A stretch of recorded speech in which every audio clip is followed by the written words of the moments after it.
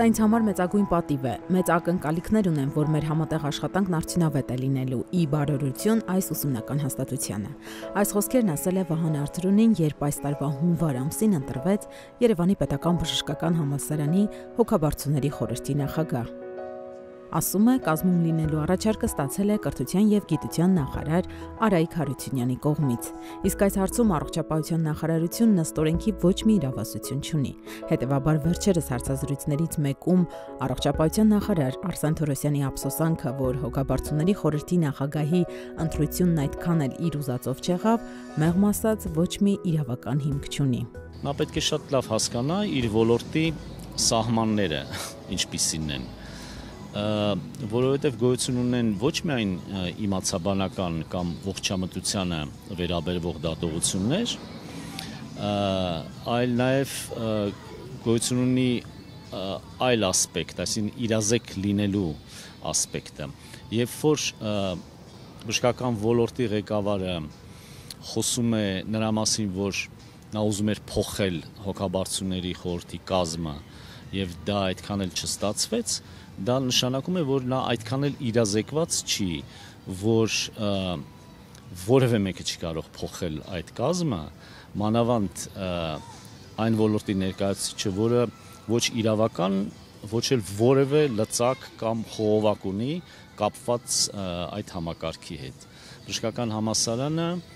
գտնվում է կրթության նախարարության տիրույթում եւ առողջապահության նախարարը ի պաշտոնե չի կարող խախտել օրենքով տրված սահմանումները ու ես եթե դուք ասում եք իմ վերաբերմունքի մասին իմ վերաբերմունքը հետեւյալն է. պարոնը կարող է իրազեկվել իր իրավաբանների օգնությամբ որոնք կօգնեն նրան գիտակցել իր դատողությունների չափն ու սահմանը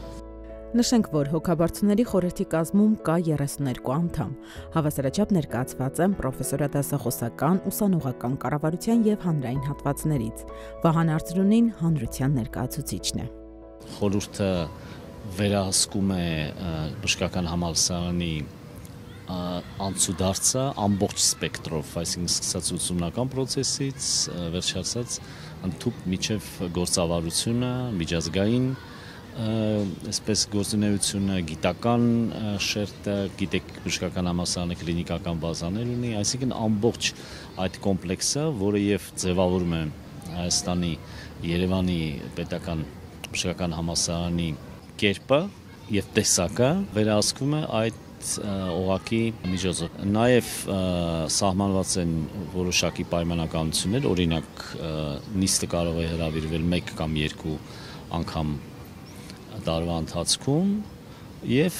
հաստատել անցած տարվա բյուջեն, հաստատել նոր տարվա բյուջեն Իսկ ինչ կապ ունի Վահան Արծրոնին բժշկության հետ։ Ասենք, որ մինչ երկարվեստով զբաղվել է որպես առաջին մասնագիտություն, նա ընտրել է ՊԱՊ-ի Վահան բժշկապետի ուղին բժշկությունը։ Ես տեսնում շատ սիմվոլիկ կապ, այսինքն ես կարծում եմ, որ իմ մեծ պապը կարծում եմ գող կլիներ որ 100 տարի առաջ պատկերացրեք ինքը հիմնել է այդ ինստիտուտը, իսկ 100 տարի հետո իր ծորը հոգաբարձությունների խորհրդի նախագահն է։ Դա իմ անձնական ներքին մոտիվացիան է։ Անշուշտ պատկերացնում եք այդ մոտիվացիայի ուժը, որը անշուշտ իհարկե ընդհանրեն անձնական մոտիվացիա է։ Վերաբերում է միայն ինձ եւ իմ ընտանիքի անդամներին։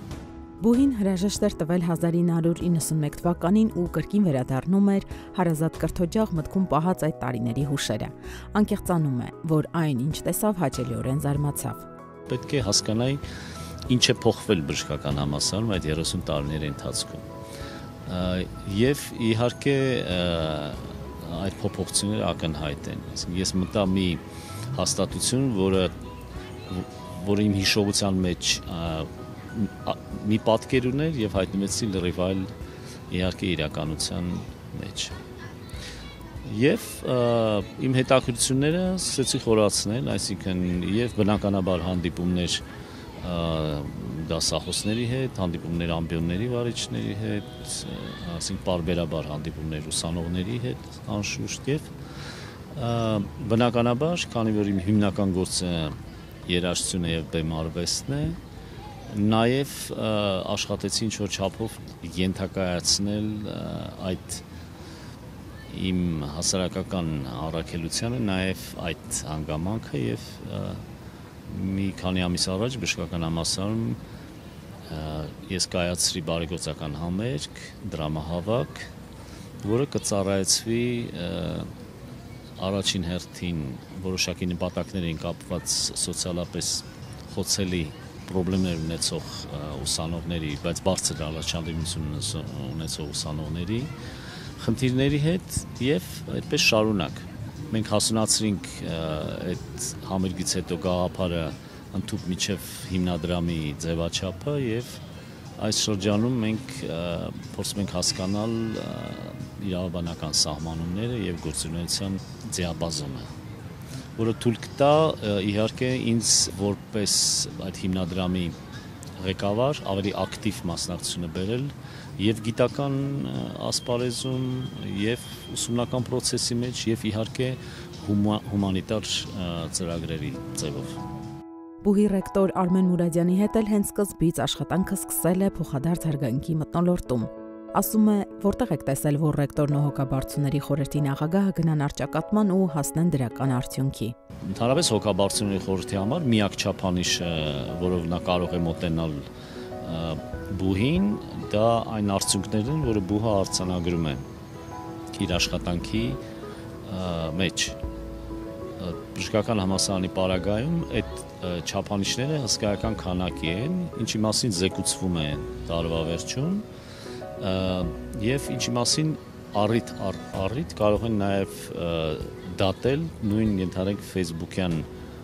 բնակիչները կամ ընդհանրապես լայն հանրությունը, որովհետեւ այդ ամբողջ ընթացքը թափանցիկ է եւ բաց։ Սկսած լսարանի վերակառուցումից վերջացրած ենթարեք Միքայել Միքայելյան հիվանդանոցի կլինիկական բազայի այսպես նվաճումները եւ զարգացումը։ Այսինքն փակ արեաներ, փակ սֆերաներ, որոնք որ հանրության համար անհասանելի լինեն, չկան եւ ակնհայտ են արդյունքները եւ դա ոչ թե իմ գնահատականն է կամ խորհրդի անդամների գնահատականն է, այլ դա վարչապետի գնահատականը, որը արվել է բարձրագույն մակարդակով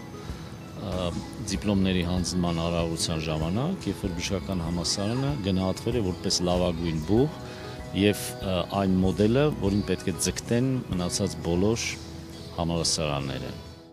Բժշկի մասնագիտացումից հետո Վահան Արծրոնին ավարտել է նաև կոնսերվատորիան։ Հեղինակատարողը անկեղծանում է, որ մինչ օրս էլ չհասկացավ, թե ինչպես եղավ, որ հասարակական ոլորտն իրեն կրկին բերեց բժշկական տիրույթ։ Մեր այն հարցին, թե ինչպիսին պետք է լինի Հայաստանում առողջապահական համակարգը, Վահան Արծրոնին հիշեց Պապի խոսքերը։ Իմ պատկերացումները եւ իմ